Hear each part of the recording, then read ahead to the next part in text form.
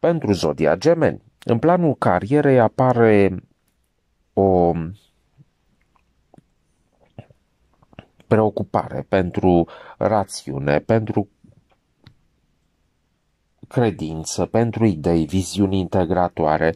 Între 16 și 19 martie, sacrificiile făcute în planul carierei uh, pot să aducă idei uh, noi la lumină, deschidere către progres. Apare încrederea, inteligența, originalitatea, încăpățânarea, relațiile pot fi marcate de bună dispoziție și de uh, stimul mentali. Luna plină din 18 martie la ora 9 și 20 de minute din Fecioară aduce momente prielnice pentru a culege acțiunile începute cu șase luni în urmă la luna 9 în Fecioară. Aceste lucruri țin de cămin, de tradiții, de familie. E un moment acesta al lunei pline uh, când se formează configurația daltă. Această configurație se formează o dată cu niște tensiuni, a căror uh, rezolvare ține de eforturile făcute în carieră, de eforturi care au uh, dus poate la neglijarea familiei, a căminului, a sănătății și există aici opozițiile lună-soare și lună-neptun. Planeta focar este Pluto. Pluto aflat în Capricorn ne vorbește de schimbare, de transformare, de renaștere, de datorii, de rezolvarea tensiunilor prin susținerea puterii, a ascensiunii și a regenerării, a transformării până la urmă. Uh, Pluto este o planetă care influențează corporații, politică, economie, energie, finanțe și bănci. Sunt momente când se pot echilibra emoțiile, când se poate renunța la gândurile nocive, uh, cele care vă pot împiedica să vă atingeți visele și să fiți fericiți. Se pot organiza gândurile, proiectele viitoare, se pot uh, căuta situații în care să vă dezvoltați spiritul practic, se poate face curățenie în uh, zona emoțională pentru a atinge echilibrul, optimismul. Între 18 și 20 martie vorbim de un sextil al lui Mercur cu Chiron, care implică relațiile personale. Sunteți susținuți în cunoaștere, în studii, în călătorii lungi, din punct de vedere mental, din punctul de vedere al intuiției, din punct de vedere al comunicării și al transmiterii informațiilor. Pentru horoscopul uh, săptămânii 14-20 martie uh, se remarcă foarte multe aspecte astrale, printre care luna plină din 18 martie, care se perfectează la ora 9 și 20 de minute în fecioară. Se formează atunci o configurație numită Dalta și rezolvarea tensiunilor prin opoziția lună și soare, de asemenea și prin opoziția lună-Neptun, se face în planeta focar Pluto. De asemenea, această, acest uh, horoscop are și alte aspecte astrale. Uh, soarele se află în pești, aduce emoții confuze, misticism, dorința de a ajuta pe cel apropiat. Între 16 și 21 martie, soarele se află în sextil cu Pluto, și aduce o amplificare, o scoatere la lumina instinctelor, a creativității, a dorinței de afirmare și a pasiunilor. Relații pasionale. Echinocțiul de primăvară, din data de 20 martie, se perfectează la ora 17 și 40 de minute. Soarele se află la 0 grade în Berbec la această oră. Echinocțiul acesta de primăvară reprezintă începutul primăverii astronomice, dar și acele astrologice, și putem spune că ziua și noaptea sunt egale, fiecare având 12 ore. Din acest moment, ziua va crește continuu până la solstițiul de vară, când ziua va fi maximă. Din punct de vedere astrologic, ascendentul acestui moment se află în Fecioară. Avem și quadraturile Lună-Pluto, Uranus-Venus, Uranus-Marte, avem sextilul Soare-Pluto. Sunt frustrări puternice între resurse, bunurile materiale, dorința de a fi fericiți. Sunt tendințe amplificate, destructive, pasiuni dureroase, um, aspecte de ieșiri haotice, uneori ieșiri dramatice, blocaje emoționale care pot să ducă la decepții și la uh, stări de irresponsabilitate. Relațiile sunt marcate mai ușor de extremism, de stări de gelozie, de posesivitate extremă. Sfatul uh, astrologic este să se controleze uh, tendința puternică de impulsivitate.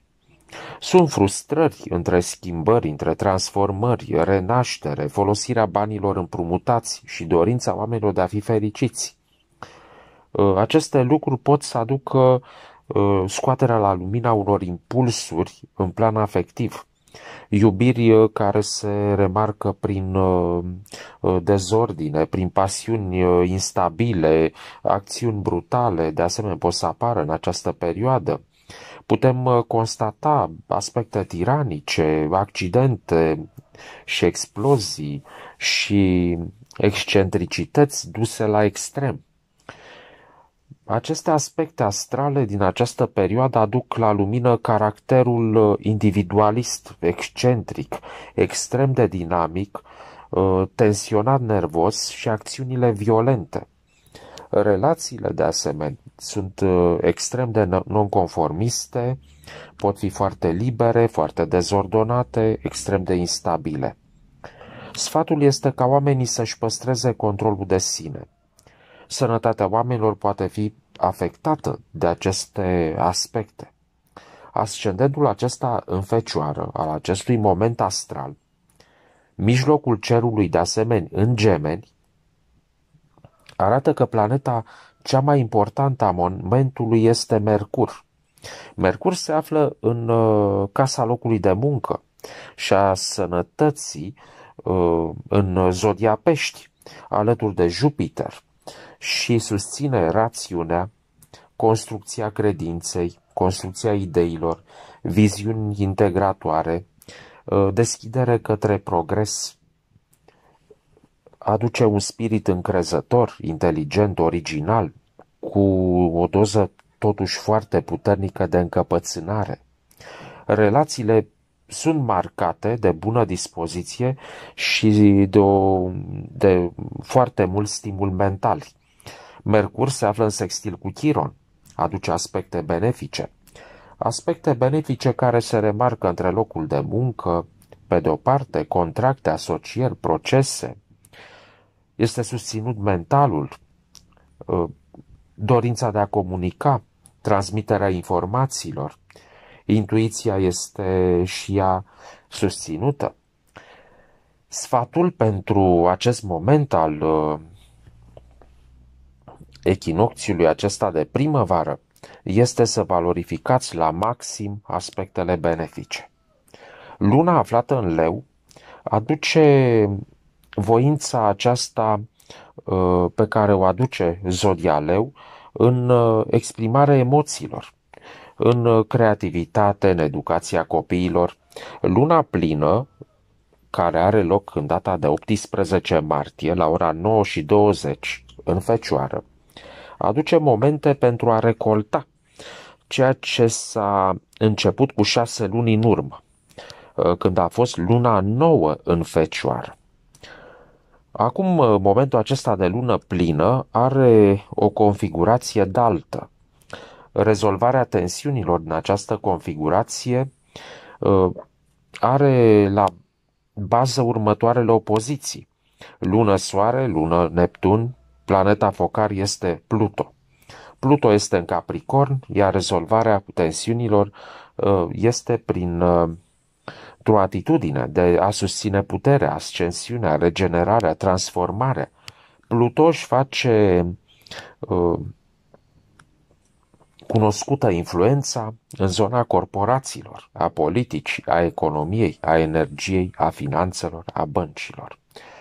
Este un moment în care se pot echilibra emoții, se poate renunța la gândurile uh, care împiedică pe oameni să-și împlinească visuri, să fie fericiți. Se pot organiza foarte bine gândurile, proiectele viitoare, se poate dezvolta la maxim spiritul practic. Se poate face curățenie în zona emoțională. Se poate atinge echilibrul și o stare de optimism. Din data de 19 martie, luna aflată în balanță aduce dorința oamenilor de a-și căuta rădăcinile, de a căuta în relații sociale, în confruntări, în zona sentimentelor și a emoțiilor. Lucruri care să implice relațiile cu cei din jur și sunt posibile implicații publice. Sunt posibile asocieri, parteneriate bune, Uh, se încheie săptămâna aceasta cu o quadratură lună-Pluto. Aspectul acesta duce o susținere pentru frustrările destructive, pasiunile dureroase, ieșiri haotice, dramatice, blocaje emoționale, decepții, irresponsabilitate. Relațiile pot fi mai ușor marcate de extremism, de gelozie, Sfatul uh, este, din punct de vedere astrologic, de a se controla impulsivitatea. Deci începând uh, cu, practic, uh, vorbim de sfârșitul acestei săptămâni pe care o analizăm. Mercur, aflat în pești, este într-o poziție slabă. În această poziție totuși susține rațiunea, susține construirea credinței, susține ideile uh, care integrează aspecte ce țin de înțelegerea lumii din jur. Între 16 și 19 martie, Mercur se află în sextil cu Uranus.